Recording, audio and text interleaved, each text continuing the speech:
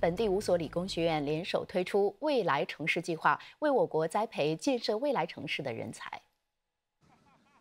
由义安理工学院牵头的这项计划，将聚集工业、学术界和政府机构的专家，辅导学生开展未来城市项目。教育部长王以康出席教育部和义安理工学院联合主办的教育与职业辅导研讨会时，宣布这项计划，每年将有超过一千名来自义安、新加坡、南洋、共和以及淡马锡这五所理工学院的学生参与计划。通过学习之旅和工作实习，了解政府和私人机构如何解决问题。他们也有机会在可持续城市设计、数据分析以及物联网方面提供点子和做出贡献。目前已有十六个政府机构和私人企业参与，将在这个月中旬正式推出的计划。